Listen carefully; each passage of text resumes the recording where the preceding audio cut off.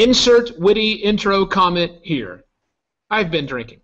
I am Evo Terra, and this is the Books and Beer Hangout.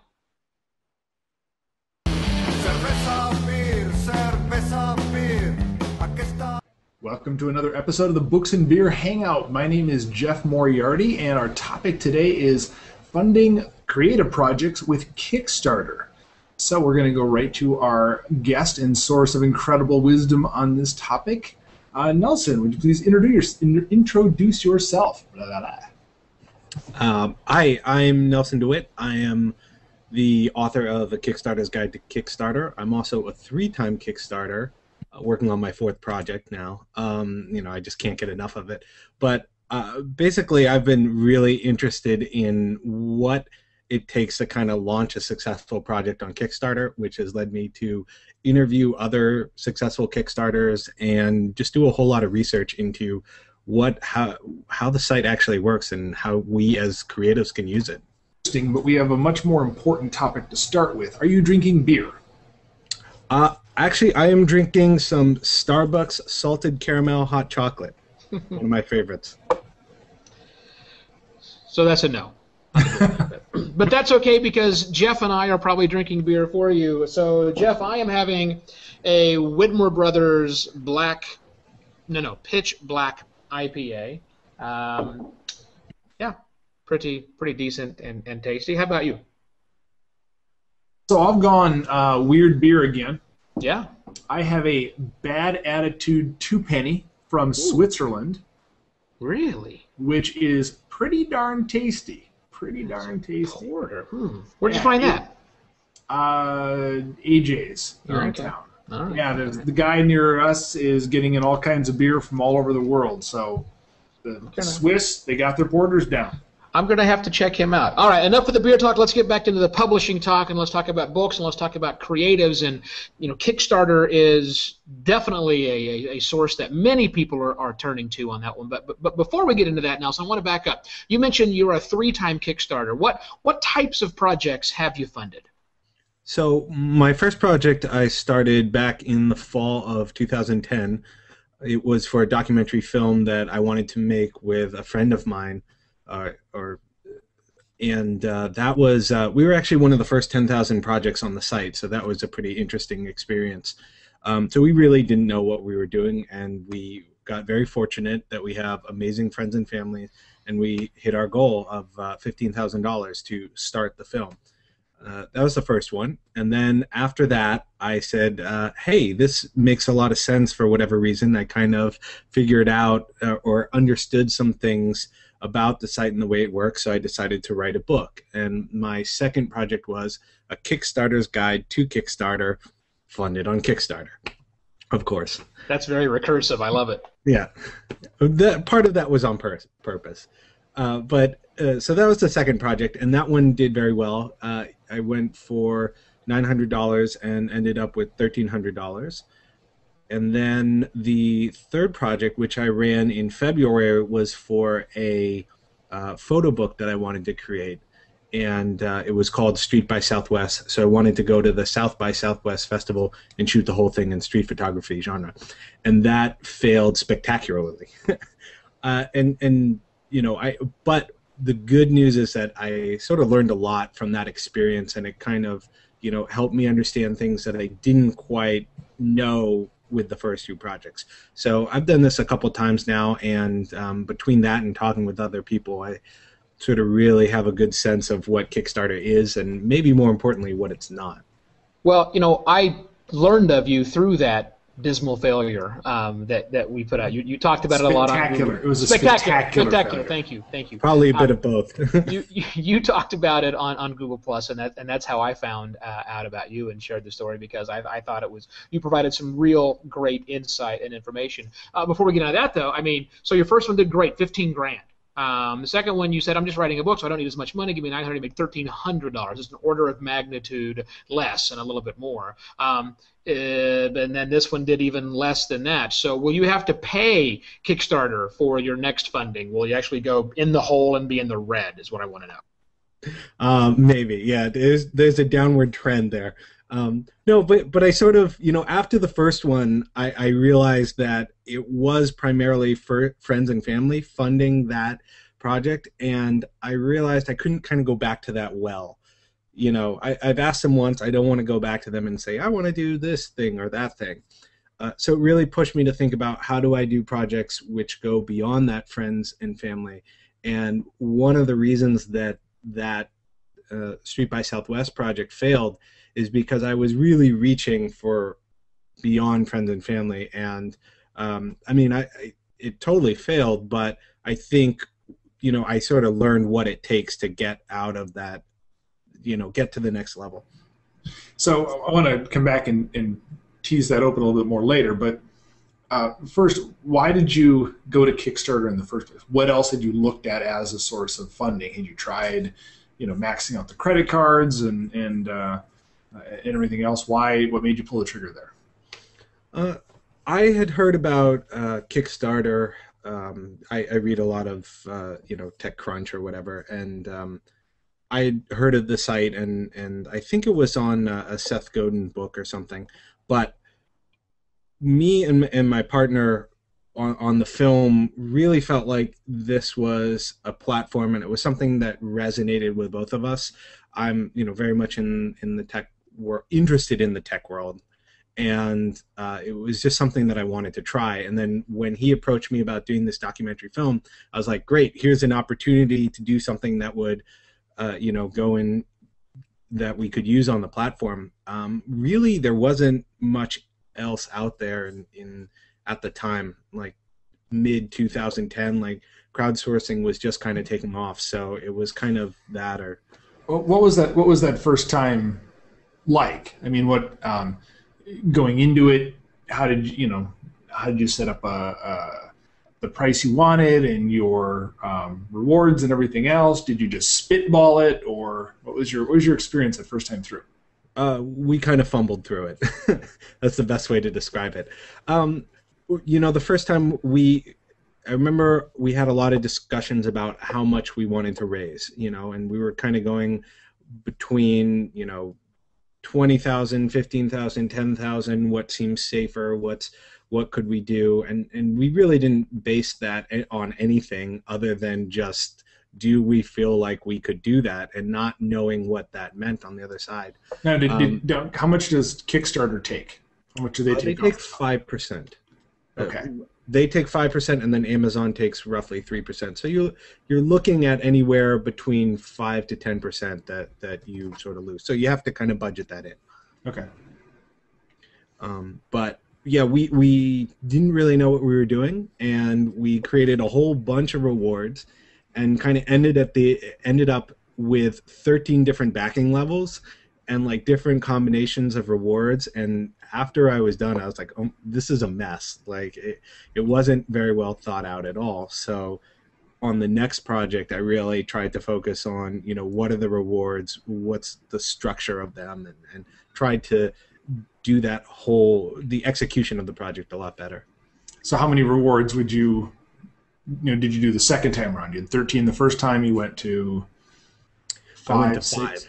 okay I went to five. I really tried to push myself to can I offer five like only five rewards? And the other thing I tried to do was I only made them digital because uh, you know part of my thinking was uh, with the guide is if you like is this a book that you would curl up next to the fire and read? And my answer was no. So I thought it should be a, a digital book. And and I knew from from the first project that you, have to mail out the rewards. So if I'm giving people T-shirts and DVDs and whatever else, then there's the cost of sending it and producing it. You know, so going digital kind of makes that whole process easier. Now, did you find that the, the, the physical rewards versus the digital, um, you know, what were the things that people gravitated to? Was it the the the different levels, the price levels, or the objects themselves, or kind of what, what seemed to really get people clicking in terms of those incentives?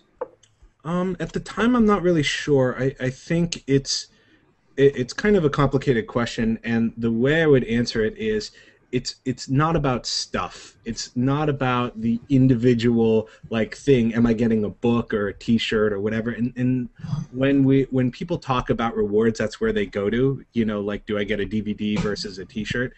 And from my experience, I would say that most of my friends and family did not back me specifically for that, you know, T-shirt or, or whatever. They were backing to support it, and if they got something out of it, great. Of course you want to give them that stuff. But um, and then i think the second project yeah the rewards were a little more important because you you are sort of uh, you, you, want people to get the book you want people to get the interviews and you want people to be happy. But now my view is really it, there are good rewards in my mind are rewards that are a product of the of the project itself or provide a compelling experience and that's something I, I think people um, I'm trying to play with a little more. How do you make this experience of being part of the Kickstarter project really freaking awesome? And and that's what gets people excited. Yeah, so less a piece of swag and more something that the only way you're going to get this cool thing, you're not going to find this for sale on Amazon or on, on eBay later on, any of that kind of stuff. Something really, really inventive. We, have spent a lot of time talking about the incentives, um, and, and I want to get back or talk about the, the overall mechanics um, a little bit more of that thing. Obviously, you've written an entire book about it, so I don't want you to tell me the book in the next two minutes, but some of the critical pieces I would imagine is a fantastic, you know, write-up and description, which I would think authors should excel excel at, although unfortunately they don't. Um, but I know there's also the video element. Are, are, there some? Is there a simple formula that you should follow in something like this, or is it you just kind of do what you got to do? So I, I think authors are at a bit of an advantage here if they play their cards right. To me, the thing that you are doing on that Kickstarter page with your pitch is you're telling a really good story, right? You have to tell a story of why this project needs to exist and if you don't get funded why you know why is it sad if if this project doesn't happen? You know i, I think that's the goal is to really not to sit, go there and say hey i have an idea for a book and i need your money to do it but to say you know i've been working on this thing for three years and it's keeping me up at night and i just can't put it down and i need your help to take it the final stage of the way. I think that's a much more compelling pitch and indeed from what I, from what I've seen, the projects that do very well have a really really good story element to them where the creator is talking about their journey, their passion, and why they just can't walk away from this project. So, um, to, to bring up, just because it was spectacular, you know, if it was just a, a, minor failure, we could probably let it go. But a spectacular failure, I mean, really deserves some some some love. So, uh, your your third project, what would you say is the you know the one or two big things that that made that not work, and or the most surprising? Yeah. So this was really interesting to me because I, I sort of knew how important that storytelling element was, and I really, really focused on telling just the absolute best story I could. I mean, I worked on that project video for three months and it showed people really loved it, but it it turned out that what I was trying to do just didn't work with the story I was telling. And I, will back up a little bit. So the project was to publish a this photography book, and I was going for ten thousand uh, dollars. When I started out the project, I hadn't taken the pictures. I, I had started working on the style of photography, getting better at that um, but I didn't actually have any photos to show people, and I hadn't made a book. So I was kind of like in the middle of my project. I wasn't. Um, I, the way I, I, think about it now is I didn't have like a prototype. I didn't have something to show people on camera. Hey, look at this cool photo book, and I was just trying to sell the story of it, and and I don't think that that worked. And then the other thing I did, which um, didn't work, was that ten thousand dollars half of that was to cover the costs I had already put in, and half of it was to produce the book.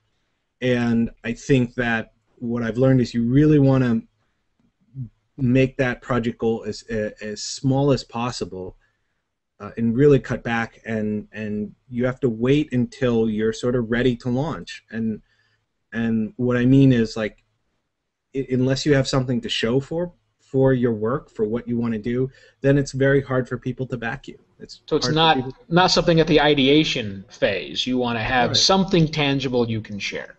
Yeah, absolutely, and I think that makes it so much better. And the the difference between sort of the guide and the photo book was the guide I showed people what I had already started working, and I said, even if you don't fund me, I'm still writing this and I'm putting it out for free. So I, I was like, I'm doing this whether you back me or not, and I think that that sent a very different message from I am broke and I need money to do this project, you know, and even if that wasn't my intention, that might have been the message that came across. Nelson, you, have talked about the video aspect, and, and I've heard others talk about that, that video aspect. And it seems to me, just looking through the Kickstarter page, uh, finding the successful, the, the things that received tens or hundreds of thousands of dollars, if not even more than that, they all seem to have this element of a really killer video that conveys the message. Um, a, is that criti- critical? And B, what if you're not a filmmaker? How do you make a good video? Um, I have seen one of my favorite videos of all time is someone on their webcam just like this and and they're talking. Uh, it's uh, the parade of a thousand night demons or something. I can send you a link later. Anyway, the guy, the guy is on his webcam and he's just talking about how much he loves these Japanese folklore and the illustrations that he's doing, and y- you just get hooked. And it's his passion that I think tells that story way better than than fancy graphics or, or videos or anything like that. So if you don't have a high budget, if you don't have a lot of video production skills, just sit in front of the camera and tell people why you love what you're doing. And I think that that goes much farther than than people really think. Is there a type of creative project that you think right now is either underrepresented or particularly red hot that you're that you're seeing out there since you're so connected with Kickstarter? I think, uh, in my mind, there are really sort of two different types of of Kickstarter projects. Uh, maybe it's a little more complicated than that, but there are the projects that we read about on the blogs, which are these huge successes. They're usually either uh, consumer products or it's the Amanda Palmer, Seth Godin's, the people with the really big followings who are going on the site and they're doing some project and their fans just show up in, in droves. Um, the other projects, uh, and this is an interesting fact that 92% of all projects on Kickstarter raise less than $20,000. So that's like everyone else.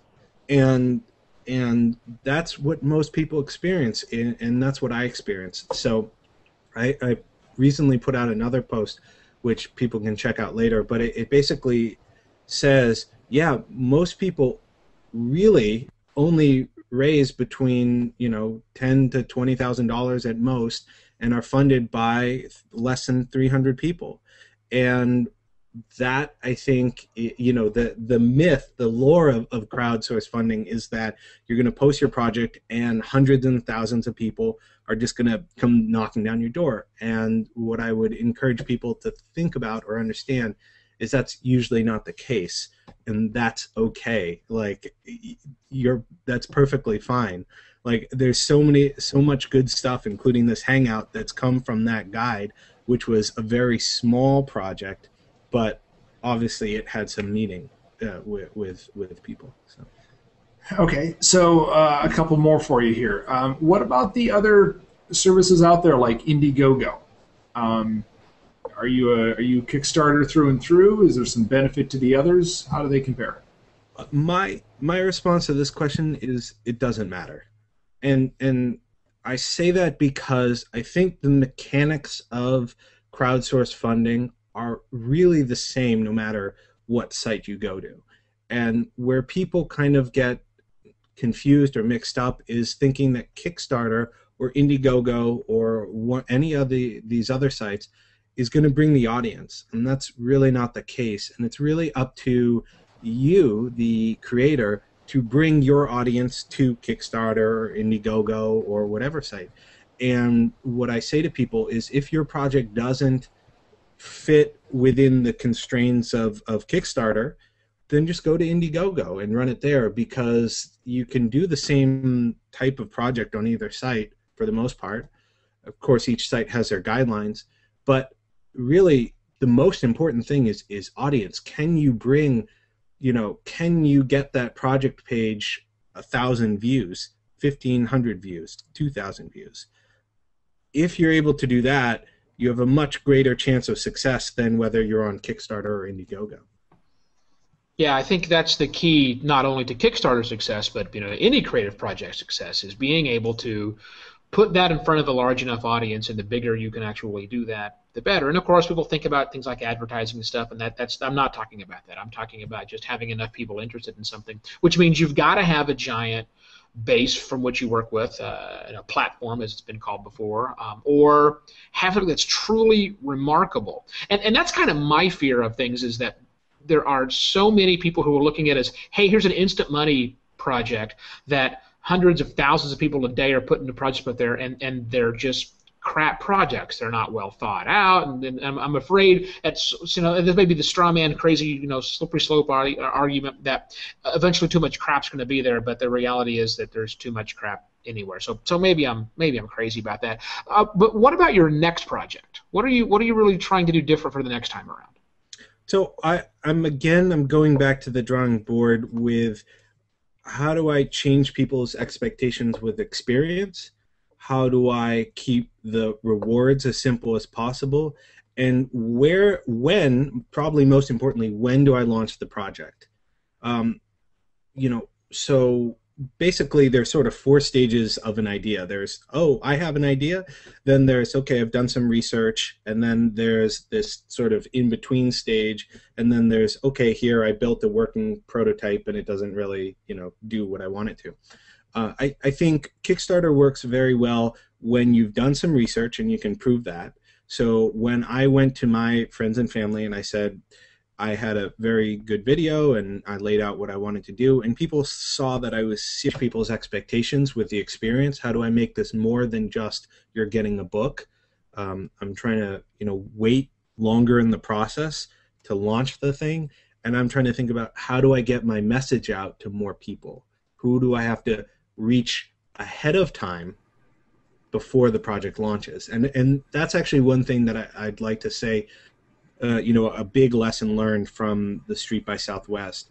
I did that in my own, you know, in my own world, showed it to my my, you know, close friends and family, and they liked it. But then when I showed it to the audience I was trying to reach, they said, "No way." Yeah, it's one of the dangers of uh, the friends and family because they like you. It's like this is great, and getting yeah. that honest, you know, hey, this isn't quite what I'm looking for. Uh, which is the feedback you need, you don't always get. Right. So, um, some people might be watching and getting all kinds of crazy ideas from listening to you and what they might be able to fund. So, somebody doing a Kickstarter for the first time, or our final question here, uh, what would you recommend that they do before starting the Kickstarter program, maybe that they wouldn't normally think of, and what should they really avoid? I would I guess the one thing I, I would really encourage people to do is take their time with it and to do their homework. I think that Kickstarter projects are a lot harder than people think about, and the one thing I would really think about is who is the audience that I'm trying to reach. And nine times out of ten, that's going to be your friends and family. And and we all like to go for the big audience, you know, the hundreds and thousands of people out there who like um, horror books or zombie books or street photography. But if you're not, if you can't get your friends and family in your close circles to back the project, getting complete strangers is going to be almost impossible.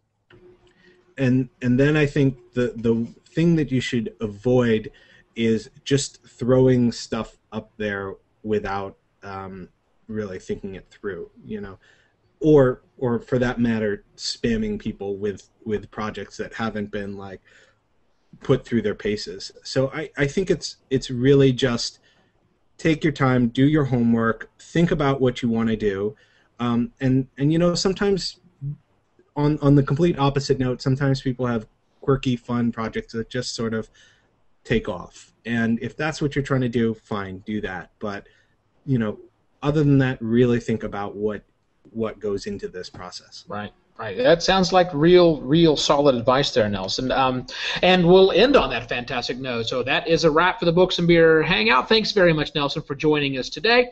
And thanks to all of you out there who have found the show, no matter how that might have been. We record the Books and Beer Hangout on Thursday nights. It's also simulcast on YouTube Live, and that happens at 6 p.m. Pacific time each of these times. Links to our prior episodes, uh, as well as information on Nelson, as well as our older guests on here, can be found at booksandbeer.com. For more information, education, and insight into the world of a digital author today, please visit us at epublishunum.com. For Jeff Moriarty, I'm Evo Terra. Thanks for watching.